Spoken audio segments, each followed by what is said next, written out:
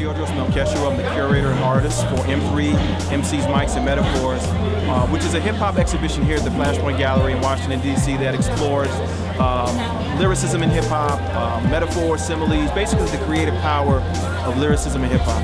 Uh, featuring 16 artists uh, covering everything from fashion design to um, motion graphics, video, painting, uh, animation as well.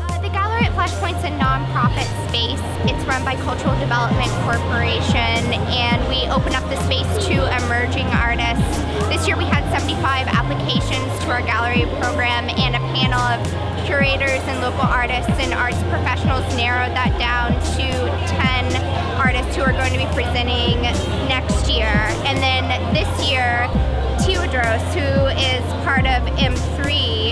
um, MC's Mics Metaphors, which is our current exhibit, he applied to be a part of the gallery program, and that's how he got in.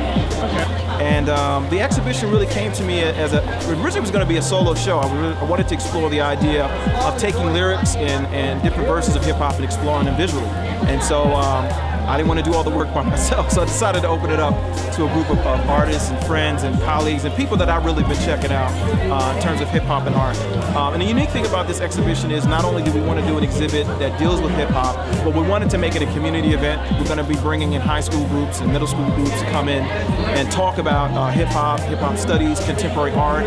Um, we also are planning a artist talk event, uh, which is artist talk and also a part performance where we're going to have local MCs here in DC come and perform and actually respond to the artwork that they see. So us, us as visual artists, we're responding to the music, but we want the artists and musicians to come in and respond to our work. Um, and uh, we really want to also showcase DC hip hop. There's a wonderful history here in terms of hip hop in the DC area. Uh, even even Baltimore is wonderful history there. So this exhibition really, I want it to be as much of a community event, and I'm really grateful to um, Flashpoint Culture Development Corporation uh, for allowing me to, to do this. It's my first time curating. I'm learning a lot. I've learned a lot, and hopefully, this, you know, we're going to continue this and, and actually travel this exhibition across the country.